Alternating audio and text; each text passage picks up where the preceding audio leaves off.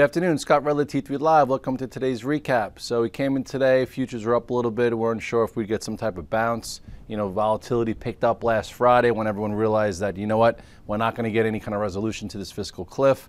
Um, Monday on the abbreviated session, you saw a little bit more selling. So today, when word got out that the president was flying home from Hawaii, that uh, potentially maybe something gets done, probably a band-aid version, probably a, a, kick the can down the road a little bit further until you know some point in, in the first quarter to take care of. But you know, slowly but surely, market uh, lost some enthusiasm. Some key stocks started to break some momentum levels and some high-level stops that could keep you safe or give you a little entry from a short side uh, started going off, and then you know, lo and behold some of the indices followed suit. So let's just go right to the charts. To take a chart of uh, just say the spiders, okay? Um, just so everyone could see. You know, if you guys remember, this was the trend that broke from the June 4th low. You know, six, seven percent to the downside. Here was that November 16th red dog reversal. Your gap up, and then we had a nice methodical move through this downtrend that's been in place since the September highs, pushed above it, and now we came back to it, and. Uh, you know, it's definitely a little bit, not I would say faulty, but it's getting a little concerning. You know, we, we talked today that um, you had 141.94, um, 141.88 is as a pretty big level, uh, like a floor with the 50 day right there. You know, we, we briefly pushed below it. We did close a little off the lows. So, so, I know for me, you know, I do, you know, have a bunch of longs on, a short in the spiders when we pushed below. At first, when we were up a little bit, you know, I added to some spiders short just to show you how you, you know, you trade around your positions. You know, here's where we, you know, opened up, so to speak. And then um, once things started to get a little faulty and it looked as if we were going to fill this gap, I added some. And then I think I, you know, tweeted out some point, uh, you know, early in the day, right around here. I'm like, you know, what, I'm covering some of my hedge, you know, just to get back to, you know, get, you know, make a little cash flow to fund some of my longs while the market felt weak. And then, you know, keep some spiders on short just because I do have longs. I think I do have like five or six of them. So anyway, with that said, you know, uh, we talk about high level and low level stops. So one stock that, you know, was on my mind and I didn't really uh, get involved, but I had in my 1026 note, I'm like, you know what? Retail sales are saying the worst since 2008. What comes into mind is a high valuation, high beta um, momentum play that could lose momentum if a broken area. So right away was Amazon. So Amazon, you know, started weak. They came in to try and save it. It was heavy, and then uh, in the note we talked about how I think 254, 255 is the momentum level. And if you look at Amazon right here today, you know, it, it broke it with with some with some uh, velocity, so to speak. So, you know, for those who are trying to play it for a future momentum move, because look where we were near the highs, it was flagging above support. Once momentum levels give way, if that's what you're in it for, you get out. So the reason why it was 255 is here is that low, and then really this was uh, around 254, 57. You know, if the stock was any good, the momentum players or some institutions would have supported it right there, and they didn't. So right here, if you were long this, trying to think if we can get an extra move through the new year, here was your out. If you've been holding this thing just say on a different time frame, just say you got involved on this descending channel because it was showing nice relative strength, November 16th, you know, it blasted off, here's your gap. And if you were trailing it from this area, you know, and, and it had the push through move, maybe it didn't get out here. But I would say any close below this support level, you know, lock in some of those gains because this closed on the dead lows, and um, you know this should ignite or pressure the stock some more. Tomorrow, I would watch uh, this pivot of 248.04. If we open up above it, guys might even short it if it could trade through. If you open up below it, maybe it holds the moving average and then comes back to it. But overall, hopefully you got out of some stock or made some money short here and now you don't really have to worry about what's next. You can play the levels and here's a pretty big level and then you know you have another level as these two moving averages right in between. So with that said, you know that was Amazon because of retail. You know you put some common sense thoughts together with some technicals and you could either get stopped out with a high level stop or maybe even make some money short. And I came in long Apple. I'm like, all right, not sure what's going to happen here. Uh, late last week, you know, on that Friday, it reversed off the lows. I think I got long again, like, you know, 515, 516 ish. Guys on the virtual floor saw me take it into the close. Uh, Monday was up three, four dollars. My rule is when I have overnights, I sell a third or half based on the overnight because you don't really know what the first half an hour complexion is going to be.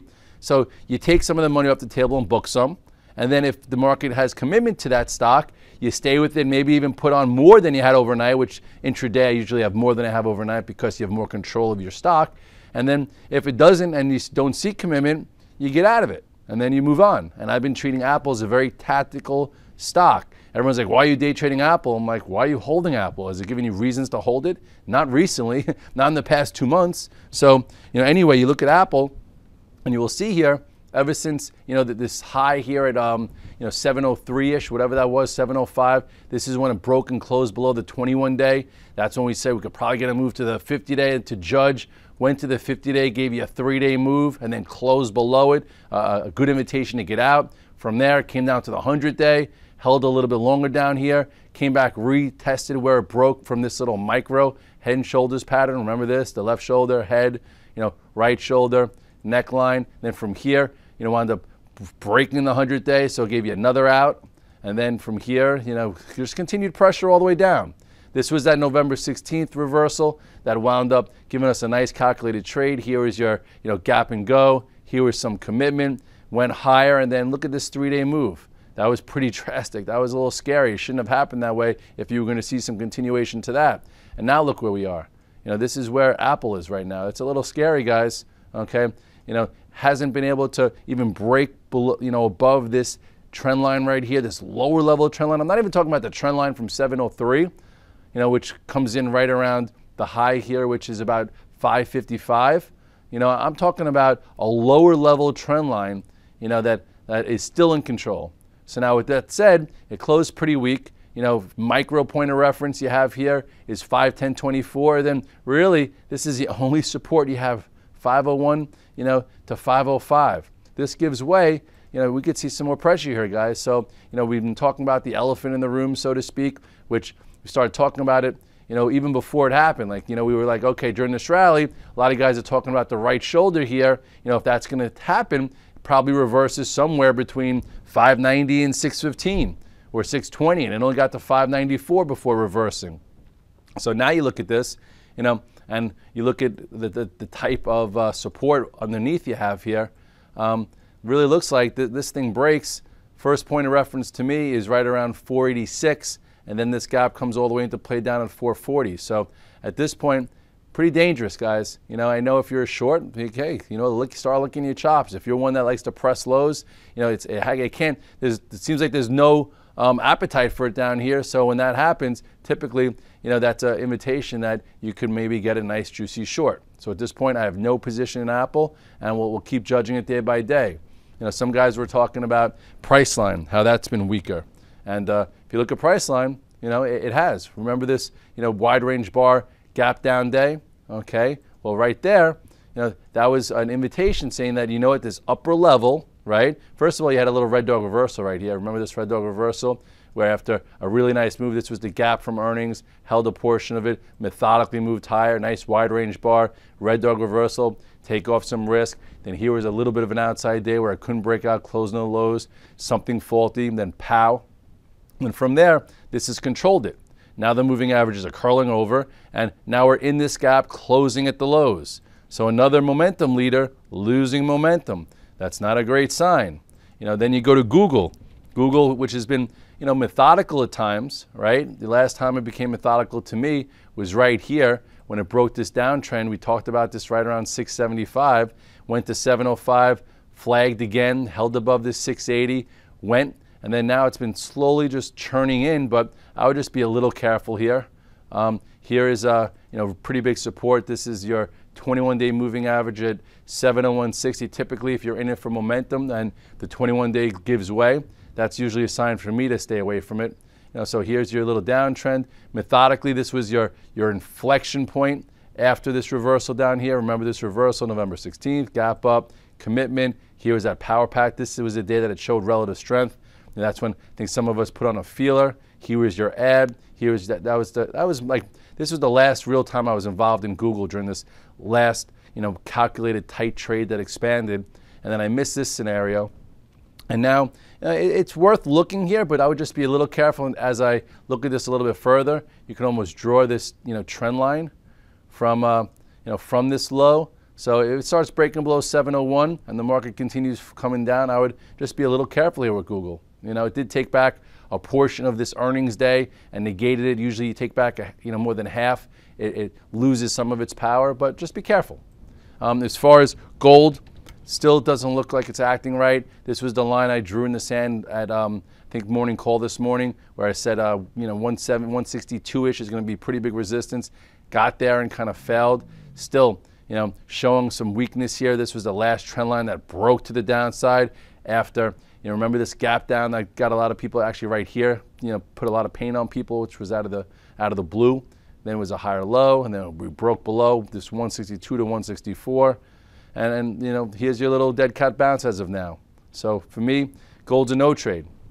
You know, guys are talking about, you know, give us a little uh, insight on your gold. You've been talking gold for so long, and you've been pretty accurate on your calls. Back in 2008, it was 800. You said 1500. Then, you know, in the last few years, even different types of trades.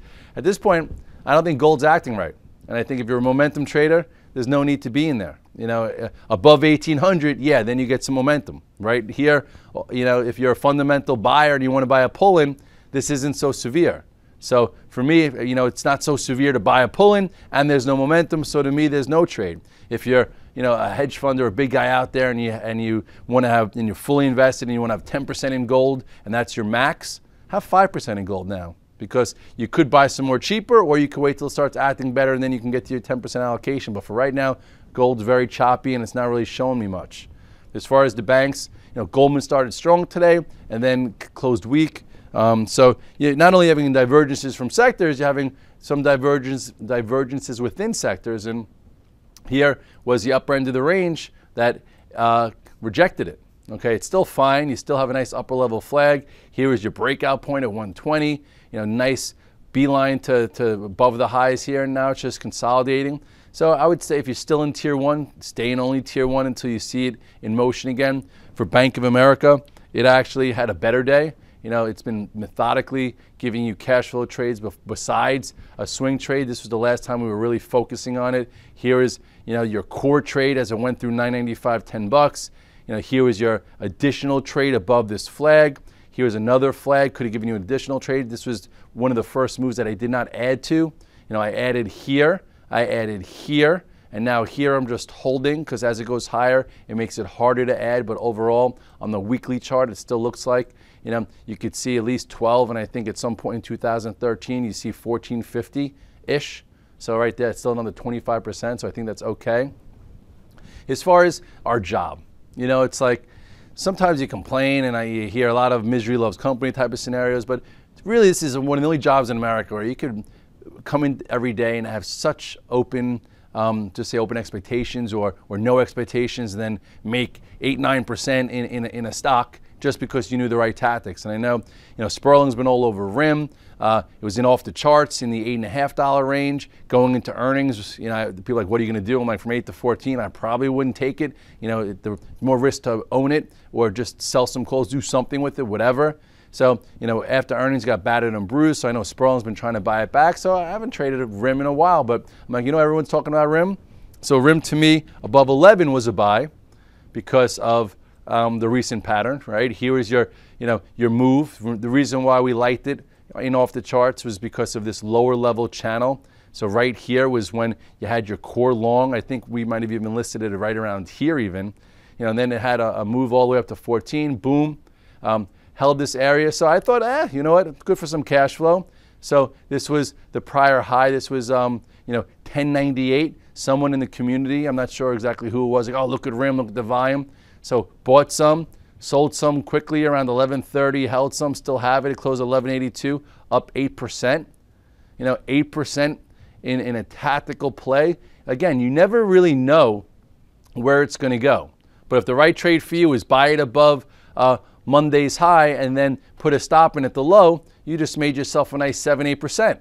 And now we'll see what happens as you know tries to play with this gap. It probably needs some commitment. and needs some time. I don't know exactly why I went today, but who knows or who cares. But the, the moral of the story is, if you did the right trade, you could have made a lot of money, or you could have made some money. But again, this is the career that you're in. Same way with Amazon. If you shorted Amazon at 255 because it was breaking the upper momentum level because you knew retail sales were shy and people get a little upset about Amazon's valuation. You didn't know it was going to be down 4%, but the right trade was getting short there, you know, and trying to tactically look for that type of trade. Or if that was your stop, you didn't know that you'd be saving yourself another five bucks, but you didn't have to know if you stopped yourself out in Amazon, you know, right here when it broke this momentum level, you did the right trade. You got out of the way. You didn't know it was going to go all the way down to 248, but you didn't have to because this was your upper level flag that uh, wound up breaking down and the trade changed. And now it's a different trade and the speed changed. So if you do the right trade, you, you don't have to know that that's going to happen. Okay, you just have to know you do the right trade and you could be pleasantly surprised. So, with that said, the more you learn what the right trade is, the more pleasantly surprised you'll be if you use the right tactics with the right trailers, with the right tier system, with the right scenario. You know, when we got involved in Bank of America for the second or third time this year when it was blasting through 10, did I think to myself it would get to 1160 by the end of the year, up another, you know, 15, 18%, whatever it is, after a nice move that we talked about from $8 and even earlier this year at 6 No, but you don't have to know where it's going to go. You can have an idea and a framework, but if you manage the trade, you know, it'll work out for you, or it, at least it'll be in the best position to work out for you. So the moral of the story is just do the right trade, and then more times than not, you'll get rewarded for it from the you know limiting your loss side to letting trades work out for you side. And, and, the more times that you say, oh, I sold it too soon, or oh, I covered it too soon, the more you'll use a tier system, the more you'll give things a little bit more space, and the more money you'll take out of trades versus versus not. Same way if you said to yourself, oh, I should have honored this stop. I didn't honor it. I lost more than I should have. You know, then next time you'll honor your stop and you'll lose less. So the, this whole business and this whole approach is a learning process, and it's going to continue. And again, we're into the end of this year. If you didn't have a great 2012, instead of trying to make it in the last week, figure out what you did wrong. Look at your, hopefully you're, you're keeping a journal you know, to create that little inner voice on your right shoulder. So this way, you, you know, you know the right thing and the wrong thing because over time, the little voice will tell you what to do if you write it down and you repeat it long enough. So overall, just, you know, take it as it comes. We have three more days left. Market's in a spot where really, you know, it's not that compelling. I don't see any unbelievable setups that I'm like jumping out of my skin to, to look for, to get involved. At this point, I think if you can make a little bit of money and you get pleasantly, pleasantly surprised like you did in RIM today, you know what? take it, or, or, if you got short Amazon, or if you even just followed your rules and got out of Apple like I did it, you know, 518 and change, just because to me, you know, breaking above 525 was taken off the table because we couldn't even hold 518. So all these little things have to go on in your head. You have to have this plan put together. So when the day is unraveling, you could execute. And the more times you execute on it, the more times you'll trust it. And the more times you trust it, the more times you know you'll just make money and save yourself money. So with that said, I hope you had a a, great Christmas and a great holiday season. You know, we're coming into New Year's and great time to be with friends and family and just try and enjoy yourself, recharge those batteries because, you know, 2013 will be here before we know it. Volume hopefully will come back and there'll be a plenty of opportunities. Have a great night. See you tomorrow morning at the call. Hi, I'm Sean Hendelman of T3 Live, where we train, coach, and mentor traders in order to help you put your money to work with confidence. The T3 Live approach is a blueprint for you to recognize, adapt, and ultimately take advantage of different market conditions. To begin your training with T3 Live, we would like to offer you the opportunity to enroll in our free 30-day online home study course. Fill in your name and email address, and I'll see you on the other side.